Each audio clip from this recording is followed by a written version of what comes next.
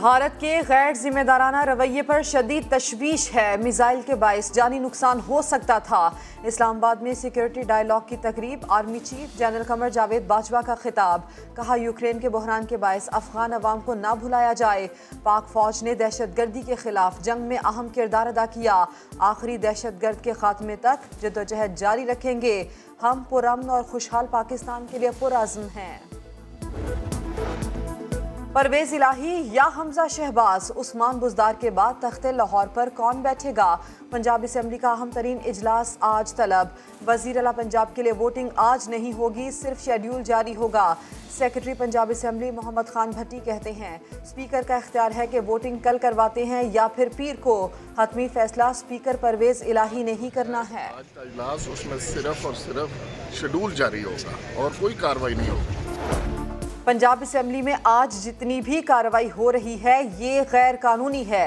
नून लीगी रहनुमा ताहिर खलील सिंधु की तनकीद, कहा आइन कहता है एक दिन पहले पाँच बजे तक कागजात नामजदगी जारी होंगे।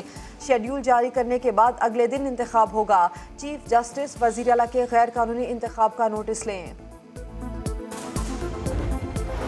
उस्मान बुजदार के गैर कानूनी इस्तीफे के बाद आज का इलेक्शन गैर कानूनी होगा परवेज इलाही चोर दरवाजे से वज़ीर अला बनने की कोशिश कर रहे हैं।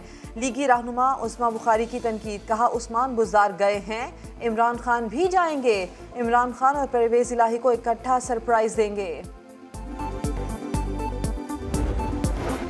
एम के एम ने मुहाजरों का सौदा कर दिया। कौम को बेच दिया। पीपल्स पार्टी के हाथों एम के एम ने मुहाजरों का सौदा किया। पीएसपी चेयरमैन मुस्तफ़ा कमाल की तनकीद। कहा एम के एम के होते मुहाजरों को इज़्ज़त नहीं मिल सकती।